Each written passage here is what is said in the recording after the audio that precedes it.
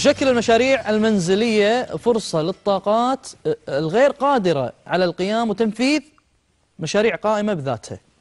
فبالتالي تساعد هذه المشاريع على إبراز هذه القدرات والإمكانيات. يعني أنت عندك مشروع عندك إمكانيات وعندك قدرات لكن من تلاقي المكان اللي تمكن نفسك من إتمام مشروعك. ضيفتنا الكريمة راح تعرفكم شلون تقدر أنت تتمكن من إبراز هذه الإبداعات الداخلية اللي عندك وأنت قاعد ببيتك. ضيفتنا راح تتكلم عن هذه القضايا وتتحدث عنها بمجالات مختلفة ومتنوعة وأيضا زميلة في المجال الإعلامي. سعدنا أن تكون ضيفة معنا الأستاذة هنادي ملا يوسف وهي المستشار في إنشاء المشاريع المنزلية وأيضا مدرب معتمد وكاتبة ومقدمة برامج إذاعية وتلفزيونية. مساء الخير أستاذة هنادي. هلا فيك ومرحبا. قواك الله وسعيدين بلقائنا معك هلا مرحبا فيك. والموضوع جدا مميز للأمانة. كثير اليوم ما في أغلب البيوت الكل عنده مشاريع. نعم. لكن ما يمدي يبتدي إلا هو أنهى مشروع بيده كونه مو عارف القواعد ولا عارف كيف ينطلق. نعم. فكيف نقدم لهم هذا الموضوع في بداية حديثنا؟ نعم. أول شيء أشكركم على هذه الاستضافة. بالنسبة حق مشاريع المنزلية هو مشروع متبحر ولكن هو جميل ومرغوب وموجود من زمان. لكن مع الأسف ما وصلنا إحنا في الدول العربية في فترة يعني قريبة. خلينا نقول يعني أقصد في فترة بعيدة. تو واصلنا المشاريع المنزلية ونشوفها من خلال وسائل التواصل الاجتماعي اللي قاعد نشوفها في الإنستغرام والسناب والتويتر وغيرها. نعم. لكن فكرة هذه المشاريع هي فكرة مرغوبة لأن للأمانة ما في شخص ما يبي يكون صاحب مشروع منزلي أو وحدة تكون حرة وهي قاعدة في بيتها نعم. بغض النظر عن إذا هي كانت موظفة أم غير موظفة هذا حلم. وبالذات يلامس المرأة. فلذلك أنا لقيت أن هذا هذه الفكرة هي جدا فكرة رائعة ومميزة نعم. ومرغوبة ولامست هالشيء من خلال يعني حواراتي مع السيدات والنساء اللي هي أنها حابة تكون ناجحة نعم. في بيتها من نعم. خلال تطبيقها لمشاريعها بالضبط في ظل هالزحمة الدوام العيال الزوج الطباخ والنفاخ كانت تطبخ في البيت قالها تساعد في ظل هذه الزحمة الحياتية اللي هي تقول زحمة مضغوطة شغل الزوارة وغيرها المواجيب والواجبات الاجتماعية. نعم.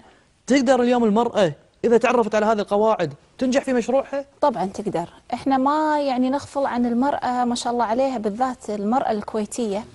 شلون قدرت تنجح في مشاريع كثيرة وتبهر الناس في يعني شغلها المميز. المرأة محتاجة فقط تنظيم للوقت لكن كقدرة وخلينا نقول كخبرة وكأفكار هي موجودة عندها. لكن كل اللي هي محتاجته إنه بس تنظم وقتها. تنظيم الوقت تقدر إن هي تسوي كل اللي تبي. طيب شلون هي الآن يعني قاعدة من القواعد اللي حاب نقرب الصورة لها تنجح في هذا المشروع؟ شو المطلوب منها؟ نعم. كل اللي مطلوب من المرأة إنها فقط تمتلك فكرة تكون فكرة مميزة وجديدة. أحيانا ما تكون فكرة هم جديدة. أحيانا تكون فكرة موجودة لكن تضيف لها بعض التطور. فلذلك هي محتاجة أن تكون صاحبة فكرة مناسبة وفكرة ممكن تطبقها وفكرة تكون أيضا مربحة. فتدرس هذه الفكرة. الفكرة هذه لها قوانين ولها قواعد. بالضبط. فالمرأة لازم تتميز في فكرتها. هذا أولا. يعني إذا هي تبي تبتدي أي مشروع منزلي.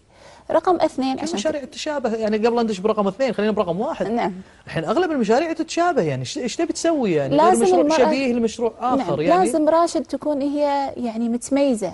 يعني مثلا أنا الحين بسوي مشروع خلينا نقول كب كيك مثل ما أنت قلت لي مساعة قبل الهواء قلت لي نعم. كلهم كب كيك قلت لك لا مو كلهم كب كيك نعم. الغالب يعني الكل حلويات. إيه يعني الكل حلويات. ورق عنب. زين شلون هذه تميزت؟ وهذه صار اسمها بارز وهذه اسمها مو بارز. شنو السر عند هذه؟ وشنو السر عند هذيك؟ هذا طبخها زين هذا مو زين. شلون؟ شنو؟ منو الحكم؟ إيه. الحكم الحكم؟ ال- ال- المتذوق اللي راح يتعامل معاها فإذا العميل. هي في لها أسس يعني هو الذوق الشكل الإخراج. متى ما كان أنت يعني شغلك فيه جودة عالية نعم. الناس صارت تعرف. فهني الناس تقبل عليك. ويعني للأمانة التنافس صاير وايد قوي الحين هالفترة. فأنت لازم تجي بتقدم فكرة مشروع. وبتسوي من المنزل. بظل التنافس العالي؟ لازم يتميز عن غيره. بالضبط. لازم تكون أنت متميز. وإن كان نفس المنتج. بالضبط. فأنت طيب. لازم تتميز بشيء. تشوف السوق شنو حاجته. الناس يعني أنا هذا الشخص قدم شيء أنا أقدم إضافة حق هذا الشيء. واكون متميز فيه. ودائما لازم تكون فكرتك متطورة. يعني ما ينفع الناس مثلا فترة هبوا باللوتس أنت للحين على القديم وما جيت هبيت معاهم وغيرت. لازم تمشي تجاري المجتمع. جميل. هذا يعني اذا بشكل- قاعدة من القواعد يعني نعم، بشكل نعم. سريع. رقم اثنين. بالنسبة حق ال- القواعد اللي تكلمنا نعم. عنها المنتج لازم هي تطور فيه وتغير فيه وإن كان تماشى مع منتج آخر. نعم. هذا رقم واحد. رقم نعم. اثنين؟ رقم اثنين إن هي لازم يعني تسوي شيء هي تحبه. يعني مو معقولة أنا بدش مشروع أنا بس لأن رفيجتي بدت فيه أنا اقلدها شكل أغلبهم كذي. ما ينفع. أغلبهم هذا هو هذه المشكلة. يعني أنا أعرف واحدة يعني الناس هبت سوت تشيز كيك هي راحت سوت مثلهم. بدأوا سووا مشروع مثلا معين هي راحت مثلهم. فمسكتها قلت لها انت ليش مع الهبة؟ كانت تقول لي أن هذا دارج ويطلع فلوس. قلت لها من قال لك من قال لك إننا من نمشي إحنا ورا الناس هو اللي راح يجيب لنا فلوس. أوكي جاب لك فترة مؤقتة لكن هل أنت يعني شيء تبينه بشكل دائم؟ لكن هل هالشيء راح يجيب لك بشكل دائم مدخول؟ وهدفك إنك أنت تبين مدخول لكن بهالطريقة ما راح تبين المدخول. فأنت شوفي شنو أنت من الداخل. تحبين تسوينه. وهل المشاريع المنزلية قاعد نتكلم عنها حتى نوضحها للمشاهد الكريم. هي نعم. متعلقة بالمادة إحنا نتكلم عن إبداعات في المرأة مو مو بالضرورة إنها تكون مردودها مادي والله راشد هو يختلف على حسب الوحدة يعني في وحدة تبي تسوي مشروع هدفها مادي نعم. في وحدة هدفها هي تبي تثبت نفسها صحيح. في وحدة هي تبي حرية في وحدة تحقيق الذات يعني إحنا نتحكي عنه يناسب الكل نعم هو يناسب لكن إحنا الكل خذينا مثال كالأكل مال الأكل كمثال نعم. نضربه نعم. ونقيس عليه يعني هذا بالضبط. رقم ثلاثة هي عدة أرقام ولا بس رقمين؟ لا هي عدة أرقام بس نعم. يعني إحنا ودنا ندخل في, في- أشياء ثانية نقطة ثانية طيب ننتقل نقطة لها. ثانية بنتقل لها حاضر إن شاء الله. آه، ما في مشكلة. يا زميل في النهاية الإعلام فمذيعين لازم الأسئلة كذي صايرة يعني يعني ممكن لأن في ناس قالوا لي آه، يا ليت تتكلمين عن مميزات العمل المنزلي. يعني من اليوم الوحدة تي تتكل آه، تبي تفتح لها مشروع من البيت شنو مميزاته ليش تهد وظيفتها اليوم وتدخل في مشروع منزلي؟ حاضر خذينا السؤال أسألك كيف أميز العمل المنزلي كيف المنزل اليوم يكون متميز ويكون جاهز المنزل لإقامة مثل هذه المشاريع وتكون هي ناجحة في هذا المشروع؟ نعم. شنو المطلوب في المنزل؟ مطلوب يعني أشياء بسيطة صراحة. ان تعد المكان يكون مكان مناسب حقها يعني مثلا هي خلينا نرجع على مشروع الأغلب اللي بادين فيه النساء اليوم موضوع الطبخ. واحدة من السيدات يد قالت لي أنا صراحة أحب أسوي يعني مشروع آم، أكلات كويتية مشابس وهالسوالف لكن مطبخي صغير. فأنا شنو أسوي هني بهالحالة؟ يعني وين أطبخ؟ قلت لها عندك مطبخ الوالدة؟ مثلا الله يحفظها كبير. كانت تقول لي إيه. قلت لها خلي طلباتك فقط تكون على الويكند مثلا وروحي سويها هناك لأنك أنت موظفة طول النهار ما تقدرين. فعلى أساس انه هم في ايدي عامله تساعدك هناك انه مثلا ممكن شقالة الوالدة وأيضا المكان يكون راهي حقك. يعني المكان أكبر. فالمكان وايد مهم. يعني إن آه، عفوا آه، من مميزات العمل إن أنا أشتغل في مكان ويكون مكاني مناسب للعمل. ومريح يعني. نعم. جميل. مميزات العمل المنزلي أيضا إن أنا أشتغل وأنا قاعدة بين أولادي. يعني اليوم أنا ما يعني تروح أحتاج حق أمها وتأخذ عيالها وياها بعد؟ مشكلة هذا. يعني ماخذة مطبخها وماخذة عيالها بعد. ماخذ عيالها بعد. فهني طيب. هي عيالها معاها. يعني مثلا أنا بسوي مشروع زهور وفترة من الفترات أنا مريت بهالشغلة إني بديت مشروع زهور. كنت أجيب عيالي بالبيت وأقول لهم يلا ماما انت مسكي الوردة بي علمتها شلون تنظم تنظف الوردة والثانية علمتها شلون تربط البوكيه والولد علمته إنه مثلا ممكن إنه يلف لي يغلف لي السلة. فهني أنا قاعدة أشرك حتى الأولاد معاي في العمل المنزلي. يعني هنادي هني الأولاد ما يشغلوني عن عملي المنزلي ما يزعجوني الأولاد؟ ممكن يعتمد. أستفيد منهم؟ طبعا طبعا. يعني إذا أنا عندي أولاد اسم الله عمر ال- المراهقة وطالع يعني هني حلو أنت تعلمه من صغره صنعه يستفيد منها حتى من يكبر. يعني مثلا إذا كان هو صاحب مثلا خلينا نقول محل نجارة وأنا ابوه جيت علمت أولادي عمل نجارة هذا حتى إذا مثلا تخرج ما لقى وظيفة يقدر يساعدني في المكان اللي أنا فيه لمن يوقف على ريله ويتوظف. صحيح. فالعمل المنزلي يقوي الروابط الاجتماعية يعلم أولادي صنعة بدل ما هم كله الحين هالجيل جيل التكنولوجيا والآيباد وهالسوالف ممكن شوية نطلع من مجال ال- اللي هم قاعدين فيه مجال التكنولوجي اللي مو مستفيدين منه استفادة صحيحة. توقعين الناس عندها استعداد لاستقبال مثل هذا الكلام لتنفيذه على أرض الواقع؟ والله قاعدة الناس أشوف. عند- عندنا التربة الخصبة اللي الكفيلة موجودة. بانها والله موجودة. يعني أنا قاعدة أشوف ما شاء الله الأعمال المنزلية ويمكن أنت بعد ذكرت لي قاعد تقول بالإنستغرام ما شاء الله مليان. فيعني التربة موجودة الناس موجودة مستعدة لكن يفتقدون إلى التوجيه. جميل. اليوم هنادي منين تأتي بهذه الأفكار وهذه الحلول؟ طيب هم أصحاب مشاريع ويتصلون أو يتواصلون معك أو أنت قاعد تعطينهم هذه المعلومات وهذا التسهيل وهذا يا جماعة عندك كذي روحي هناك عندك هذه خطة بديلة روحي حق بيت الوالدة خذي أنت منين تجيب هذه الأفكار؟ الأفكار هي من الخبرة ومن الحياة. أنا قلت لك مريت بتجارب كثيرة في الحياة وحبيت أنقل تجاربي الشخصية وتجارب زميلاتي واطلاعاتي للآخرين. بالإضافة أن من خلال تجاربي قمت وعلمت بعض الزميلات وبعض الصديقات نعم. أن شلون تبتدي مشروعك. كان طريقة سوالف يعني. فمن هني لقيت إنه والله يوم طبقت الكلام اللي أنا قلته نعم. ما شاء الله مشى شغلها. وبعدين فتحت مشروع وطورت وصار عندها زباين.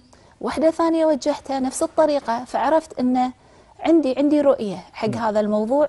وبديت أتعمق فيه أكثر إني أقرأ آه، أستعين حتى بكتب سافرت. برا وطلبت كتب من هناك وشريت وترجمت فيعني بديت أبحث لقيت إنه هو عمل ممتع جميل. ما و... في أحد قاعد ينافسك في هذا العمل يعني كل مشروع أو كل مجال لكن في ناس يأخذون نفس هذا يمتهنون نفس المهنة أو نفس هذا المجال ويدعي بأنه مبدع وهو نعم. للأسف فأنت تعانين أيضا من هذا الأمر في ناس اليوم مزورين في ناس لابسين أقنعة ويدعون هذا هذا المجال. كيف نعم. اكتشفه أنا؟ نعم. يعني ممكن ينصحني ويضيعني بنصيحته. نعم. وهو مو صاحب مجال أنتم موجود عندكم ناس دخلاء كل عليكم؟ كل مكان. أنا بالنسبة لي صراحة ما واجهت يعني ما هذه المشكلة. لا الحمد لله رب العالمين. بالعكس يعني أنا أشوف ناس تي تقول لي وتستعين وتقول لي تعالي. دربي ناس عندنا ولا ألقي بمحاضرات في هذا المجال عندنا. جميل. فيعني الحمد لله رب العالمين وبعدين تلاقي إن هذا المجال صاير جديد. ودائما أنت إذا خذيت الأسبقية هني أنت تتميز. لا أبشر راح يجونك ناس على الخط. بس أنا كيف أعرف اليوم إن هذا الشخص مميز؟ هل أنا مطلوب مني تساؤلات أطرحها اليوم على هنادي؟ حتى أعرف إن هنادي ستأتيني بالنصيحة المفيدة نعم. لي كعمل منزلي. نعم. يعني شنو لازم أتعرف عليه؟ في الحقيقة يمكن أنا قلت لك آه، قبل الهواء أن كان عندي برنامج تدريبي أن أنا أدرب فيه النساء. وفي هذا البرنامج التدريبي عندي استبيان. استبيان هذا اكتشف فيه يعني المرأة شنو الفكرة المناسبة حقها وحق شخصيتها. هذا الاستبيان موضوع على أسس ولأن أنا أيضا مساندي علم نفس. نعم. فهذا الاستبيان يوم حطيته راعيت فيه أني أكتشف أدق التفاصيل في شخصية هذه المرأة.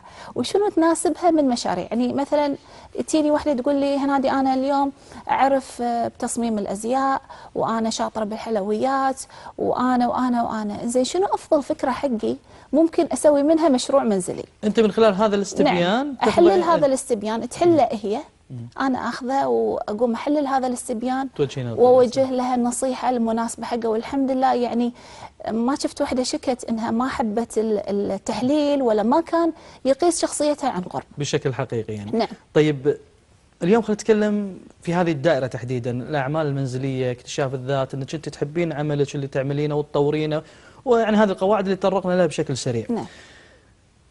هذه مشاريع صغيرة ذكرتي في أوروبا وفي أمريكا الدول تعتمد عليها هذه هي المشاريع الصغيرة. اليوم يعانون كثير من القوانين كثير من العراقيل اللي موجودة عندهم. صحيح في بنك يدعم لكن لازم تخضع لقوانين عندك محل وعندك كذا وتكون متفرغ غير الناس أغلبها في بيوتها قاعد تشتغل نعم. تحديدا للمرأة يعني. نعم. هل محتاجة شيء من الدولة اليوم؟ هل مطلوب من الدولة دعم هذه الفئة؟ فعلا هذه الفئة ستؤثر بالاقتصاد عندنا؟ نعم. طبيعي أنها راح تأثر بالاقتصاد لأن أمريكا والدول الأوروبية الثانية يعني صار دخلها 80% على هذه المشاريع. صحيح. فيعني الناس بدأت تبي تتوجه حق شيء تحقق في نفسها وما تعتمد على الوظيفة ولا على الراتب. يعني بيوم من الأيام يمكن أنت حتى راتب ما تحصل بالمبلغ اللي أنت متعود عليه. فلذلك يعني هذه المشاريع وايد تقوي اقتصاد الدولة. المطلوب اللي إحنا قاعد نسعى له والكل وده ان نحصل ترخيص يعني تأييد حق قانون التراخيص المنزلية موافقة بشكل خاص. إذا بنقول حق قانون التراخيص المنزلية يعني أي واحدة تشتغل في بيتها تقدر تحصل تراخيص بشروط وضوابط معينة. هذا فعلا اللي إحنا محتاجينه ويعني نسرع في هذا الموضوع. لأن رؤية صاحب السمو وأمير البلاد الله يحفظه حق سنة 2035 أن الكويت تصير دولة تعتمد على المشاريع الصغيرة والمتوسطة. فلذلك إحنا محتاجين شيء يساعدنا عشان نوصل حق أهدافنا. يعني أنا أكلم زميلتي من كم يوم في البحرين قاعد تقول لي إحنا ما شاء الله سبقناكم إن قمنا الحين نعطي تراخيص منزلية حق أي وحدة موجودة في يعني البحرين وتعمل من بيتها. ولذلك يعني إحنا إن شاء الله قريبا نتأمل ذلك.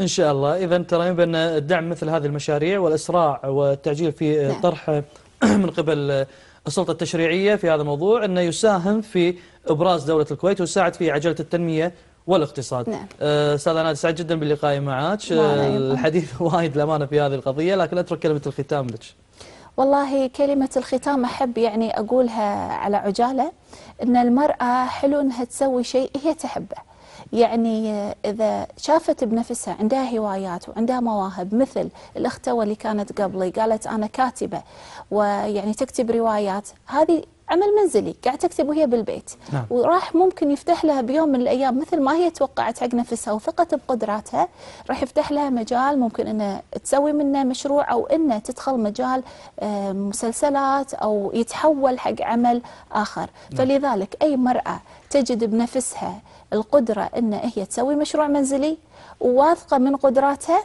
تتوكل على الله وما يهمها المعوقات خصوصا لما يكون زوج يقول لها لا تسوين أو أسرة إن هي ما تشجعها.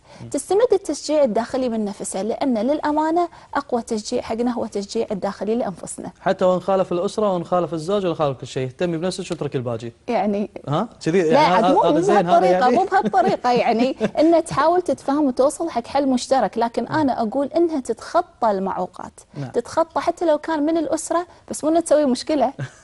انها طيب. تتفاهم وتوصل حق حل مسالم. طيب.